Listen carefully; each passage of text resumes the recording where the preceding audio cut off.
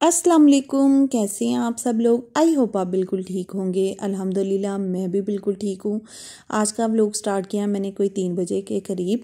आ, तो यहाँ जी मैं टमाटरों को वॉश कर रही थी। इनको करना था फ्रीज़ टमाटरों को मैं फ्रीज़ कर लेती हूँ बिकॉज़ नीचे फ्रिज में पड़े पड़े ख़राब हो जाते हैं तो मैं फ्रीज़ कर लेती हूँ। इस तरह जब कुकिंग करनी हो तो तीन चार मिनट पहले आप बाहर निकाल दें तो इजीली कट हो ना यूज़ हो जाते हैं। यहाँ जी मैं बना रही थी चिकन कढ़ाई और जो है प्याज और लहसुन अदरक को मैंने हल्का सा जब सोटे काट लिया था, तब मुझे याद आया कि मैं तो आज व्लॉग बना रही थी और मैंने रेसिपी शेयर करनी थी।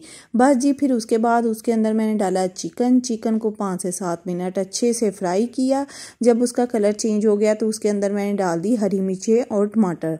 साथ ही इसके अंदर मैंने कॉमन स्पाइसेस ऐड कर दिए, नमक, मिर्च और हल्दी। साथ ही सूखा, पिसा हुआ सूखा धनिया।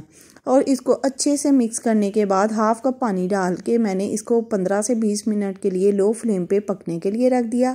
जब चिकन अच्छा सा टेंडर हो गया तो उसके बाद मैंने उसके अंदर डाला है एक कप दही।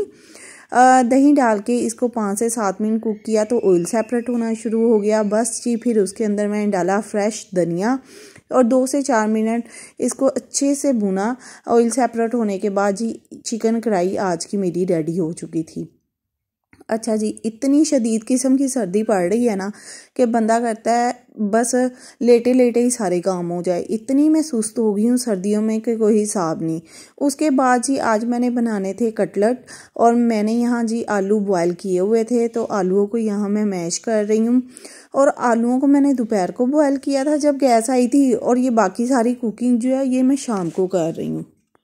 अच्छा जी, सर्दियाँ शदीद किस्म की और उतनी ही गैस की लोड शेडिंग अच्छा इतनी सर्दी इंसान को कभी भी फील ना हो, अगर बहुत सारी फैसिलिटीज़ होती हैं मतलब आप गैस है हीटर ऑन कर सकते हैं, और अगर बिजली इतनी ज़्यादा कॉस्टली ना हो तो आप एसी ही ऑन कर सकते हैं, उसमें भी हीटर ऑन कर सकते हैं।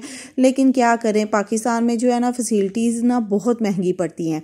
तो बस जी बर्दाश्त करना पड़ता है सर्दी को और सर्दी की वजह से ना बंदा बहुत ही सुस्त हो जाता है और मेरी जैसी बंदी तो बहुत सुस्त हुई है और व्लॉग बना ही नहीं रही थी।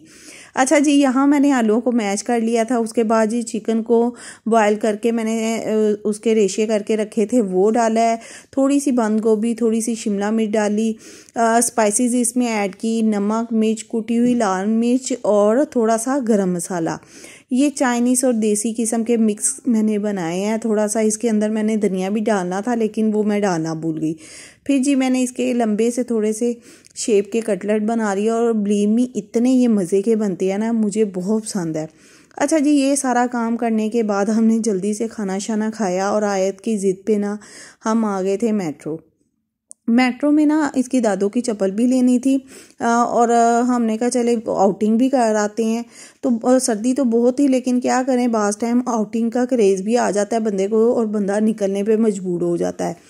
तो यहाँ जी बाटा से ली थी इसकी दादों की चप्पल, उसके बाद हमने थोड़ी सी की आउटिंग और फिर हमने कहा, अब सर्दी है तो सर्दियों में आइसक्रीम खाने का मज़ा आता है तो आइसक्रीम खा लेते हैं।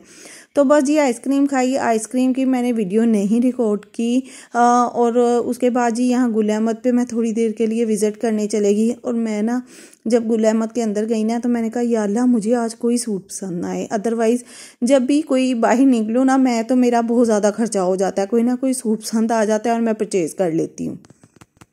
बस जी, फिर मैंने अपने जज्बातों को काबू में रखा और कुछ अपने लिए नहीं लिया और बस विंडो शॉपिंग की और आती दफ़ा ये जी बे बेकरी पे गए, आयत का फेवरेट है कप्स केक और वहाँ की पेस्ट्री तो वहाँ से आयत के लिए, लिया था कप केक एक कप केक मैंने लिया हस्बैंड ने पेस्ट्री ली और हमने कहा, चले छोटा सा घर में जाके स्नैक्स कर, खाते हैं और साथ में चाय पीते हैं। ये था आज का मेरा छोटा सा मिनी सा व्लॉग होपली आप लोगों को बहुत पसंद आया होगा।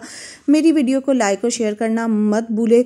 मिलती अपनी नेक्स्ट वीडियो में एक अच्छी सी रेसिपी के साथ एक अच्छे से ब्लॉग के साथ और स्पेशली जो लोग फ़र्स्ट टाइम विज़िट कर रहे हैं वो मेरे चैनल को अपने फ्रेंड और फैमिली के साथ शेयर कीजिए।